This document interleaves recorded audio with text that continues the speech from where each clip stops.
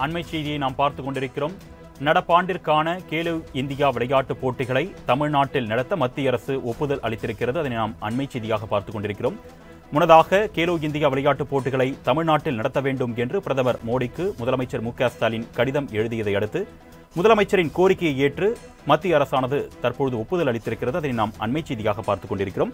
இது குறித்த கூடுதல் விவரங்களை செய்தியாளர் நந்தினி வழங்க நாம் கேட்கலாம். வணக்கம் நந்தினி கூடுதல் விவரங்கள் சொல்லுங்கள் வணக்கம். கெலோ இந்தியா போட்டியை இரண்டாயிரத்தி இருபத்தி மூன்றாம் ஆண்டு தமிழகத்தில் நடத்துவதற்கு மத்திய அரசு தற்போது அனுமதி அளித்திருக்கிறது. அதற்கு முன்னதாக கெலோ இந்தியா போட்டியை தமிழகத்திற்கு நடத்துவதற்கு அனுமதி அளிக்க வேண்டும் என பிரதமர் நரேந்திர மோடிக்கு தமிழ்நாடு முதலமைச்சர் கடிதம் எழுதியிருந்தார். அந்த கடிதத்தின் அடிப்படையில் தற்போது மத்திய அரசின் தரப்பில் அனுமதி என்பது அளிக்கப்பட்டிருக்கிறது.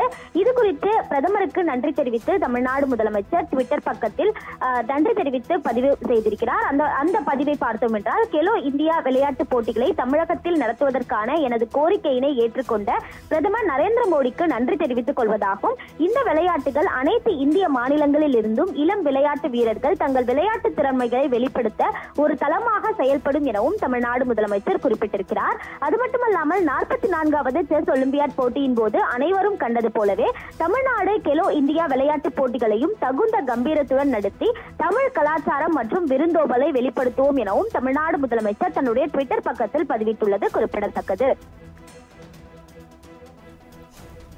விவரங்களுக்கு நன்றி நந்தினி.